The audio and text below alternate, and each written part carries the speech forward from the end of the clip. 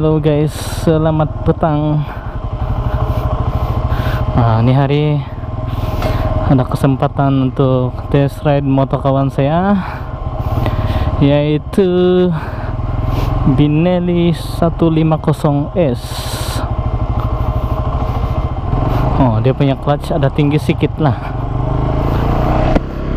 Tapi oke okay juga lah. Hmm. Mul- saya cerita riding position. Saya rasa ini motor dia punya riding position ada walaupun dia macam seolah-olah touring bike tapi mungkin dia ada tangki dan kedudukan kita tidak boleh maju di depan bah jadi dia ada jauh sedikit jadi ada rasa menunduk lah sebab disebabkan oleh uh, kedudukan dia tangki jauh sedikit daripada handlebar dan pas tu dia punya handlebar saya rasa lebar lah. Lebar berbanding motor saya. Hmm, dia punya tangki pun slim juga. Senang kepit. Hmm, saya rasa itu saja untuk riding position. Oke okay, gearing gearing smooth juga. Ah, smooth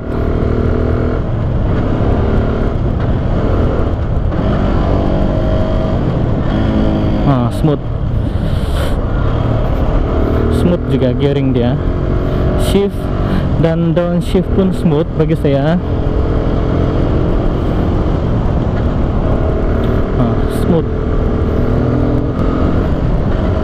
Ah, smooth. Cuma dia tinggi tinggi clutch tapi ah, tinggi clutch bagus kalau laju. Kalau untuk ah, kalau dalam keadaan yang laju dia siuk untuk di bawah. Tapi kalau kalau slow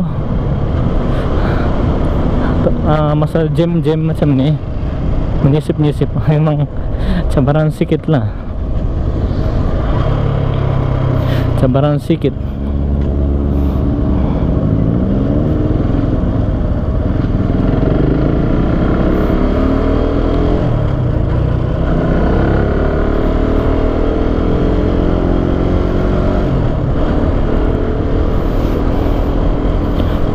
Oke, nanti kita cerita pasal braking pula.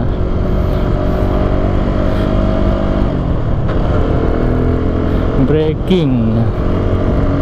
Sekejap test sikit.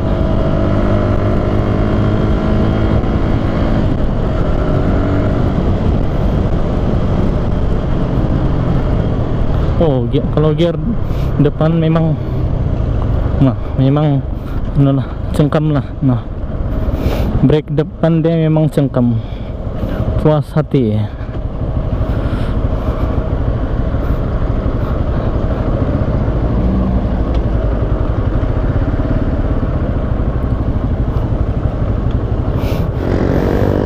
Oke, tadi sudah kita uji brake depan.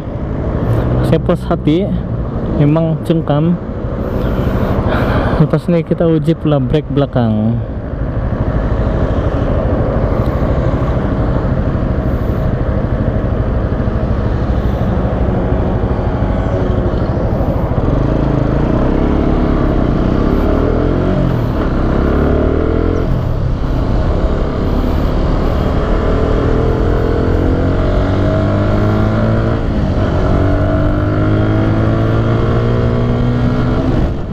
Oh, brake belakang boleh juga. Mau kuat sikit lah. Mau kuat sikit tekan baru dia makan.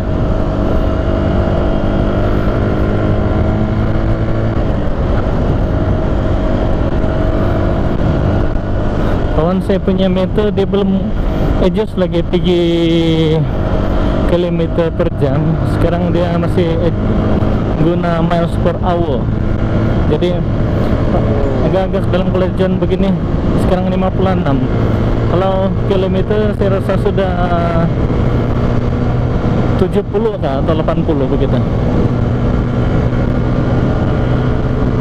Oke. Brake belakang pun oke okay juga lah. Sebab paling penting yang cengkam ialah brake depan. Lepas tu observer saya rasa ini motor ada goyang sikit lah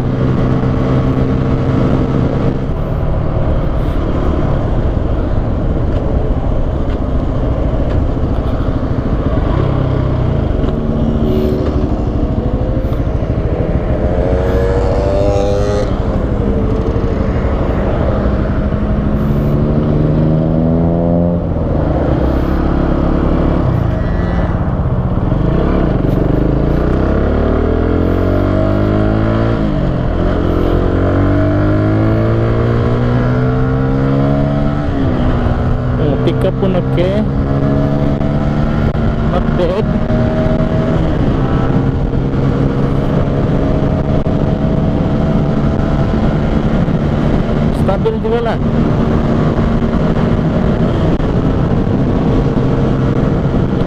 not bad not bad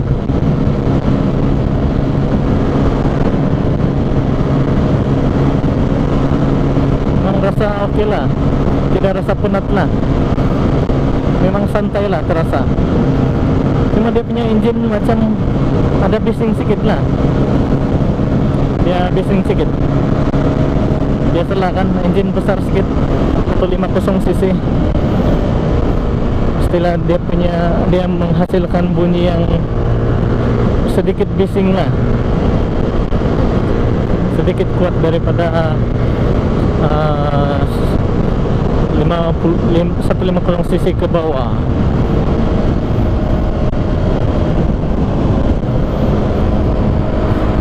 tapi ada sporty sikit lah juga dia punya posisi ni posisi kaki dia saya rasa dia dia bukan menegak macam LCC ya.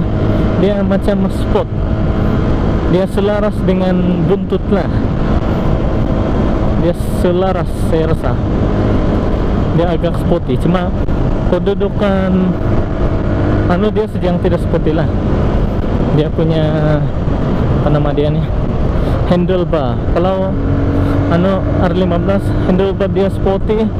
Kaki dia kedudukan kaki dia pun sporty jadi sangat memenatkan lah. Kalau yang belum biasa kalau sudah biasa saya rasa itu kacang saja tuh bagi dorang.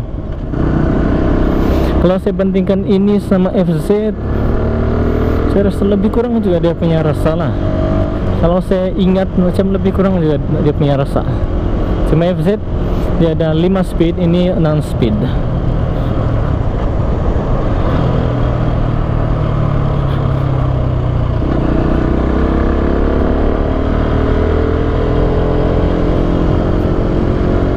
Alah, cornering sih mau tes cornering tapi di sini udah jumpa cornering jadi enggak apalah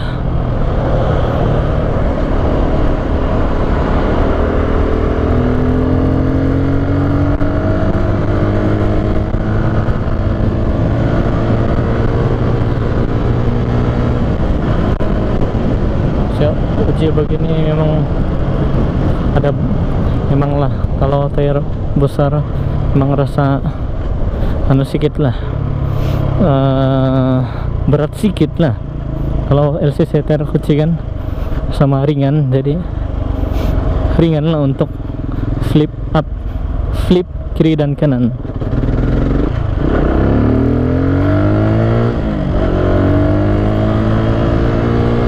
Ada berat sedikit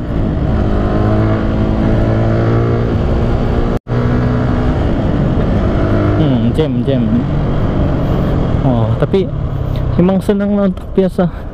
Saya baru pakai ada satu kali lah saya tes yang semalam. Tapi saya sekejap saja adaptasi lah dengan ini motor. Dia punya handling terbaik juga lah. Hmm.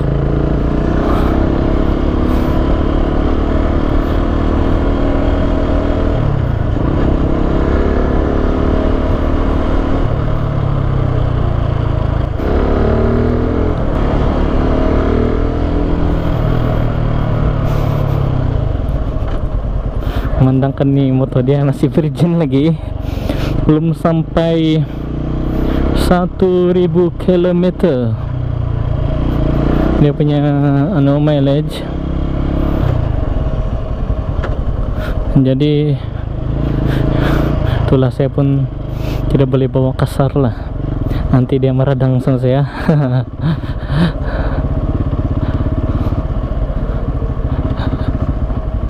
Ini pemilik dia lah jadi sebutannya dia lah kenapa dia beli ini motor Sebab besar. oke Salah satu keminatan saya lah kalau superbike atau yang motor-motor besar macam ini. Hmm. Jadi itu antara salah satu alasan kenapa saya beli.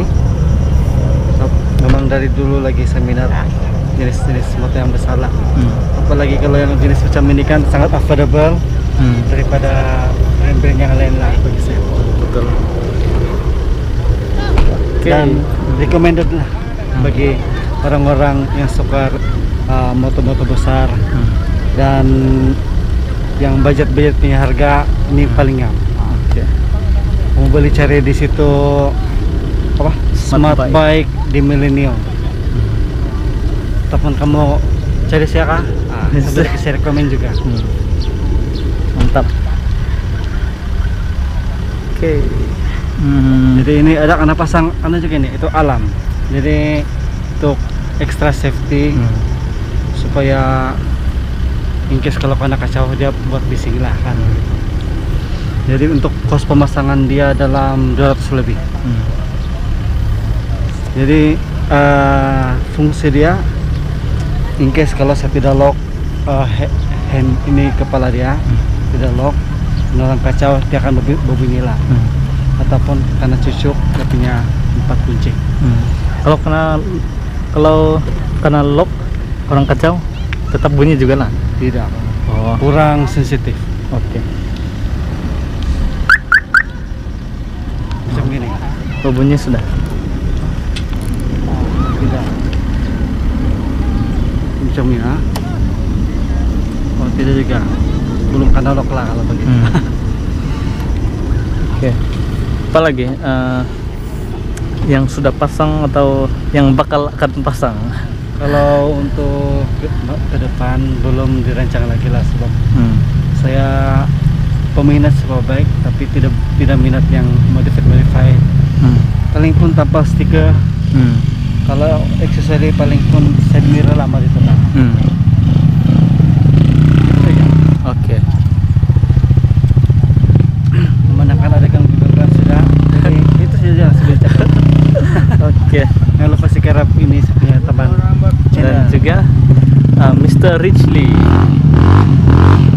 Oke guys itu sajalah daripada kami. Terima kasih karena menonton